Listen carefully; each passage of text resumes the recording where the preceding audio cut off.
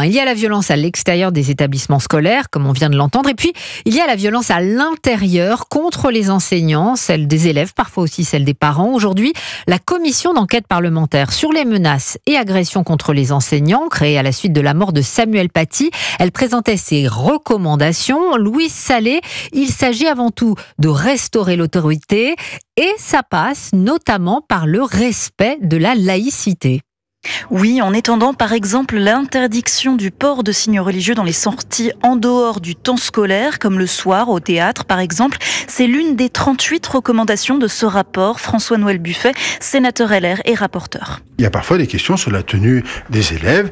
Et quand on est encadré par son professeur et dans le cadre d'une activité de l'école, on doit respecter le principe de laïcité. C'est une règle très très simple car les contestations d'enseignement hein, sont souvent liées à une remise en cause de la laïcité qui aboutit sur des violences. Et dans ces situations-là, la protection fonctionnelle des enseignants doit être systématique. Hein, selon les sénateurs, c'est une assistance juridique qui est accordée aux profs menacés. La mission s'est aussi penchée plus largement sur toutes les formes d'agression, pas seulement en rapport avec la laïcité, et pas seulement de la part d'élèves. Laurent Lafont, sénateur de l'Union centriste, également rapporteur. Dans les faits qu'on a essayé de de, quantifier, un grand nombre de ces faits, et c'est une nouveauté, ne sont pas euh, dus aux élèves, mais dus aux parents c'est qu'il y a une intrusion euh, de, quelques parents de manière forte et violente euh, dans les établissements et qui, eux, mettent une pression. Ce ne sont pas eux qui ont l'autorité, ce ne sont pas eux qui ont le savoir.